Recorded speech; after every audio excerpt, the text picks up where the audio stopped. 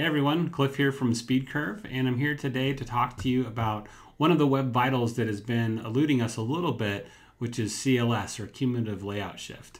Um, just real quickly, we've added uh, two new graphs, one into your synthetic site dashboard that shows you core web vitals, giving you LCP, CLS, as well as total blocking time, uh, as well as in our Lux product, you've got the same dashboard, or sorry, the same view of your web vitals in your performance dashboards as well. And when you jump in here, one of the things that we've made easier for you is once you want to drill into one of these, simply click on the data point.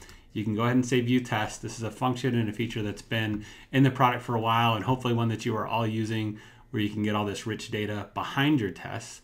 Uh, but in addition to what was already there, we've added a new section uh, for CLS. What you can see here is exactly when those layout shifts are occurring and the impact that it's having on that user experience uh, step by step sequentially. You can see the layout shift score for the individual shift that occurred, uh, essentially when it happens in the page, as well as what that accumulates to as you're progressing and, and calculating that score. So here we can see real big shift uh, at the beginning we can see smaller shifts that occur that maybe you don't want to focus on as much. You know, one or two pixels of shift or change might not be the biggest thing that you want to address, uh, but those big, large uh, red rectangles in places where we see the elements moving around is obviously where you want to focus.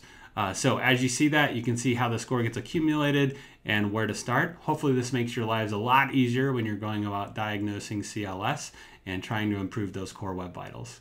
Thanks everybody.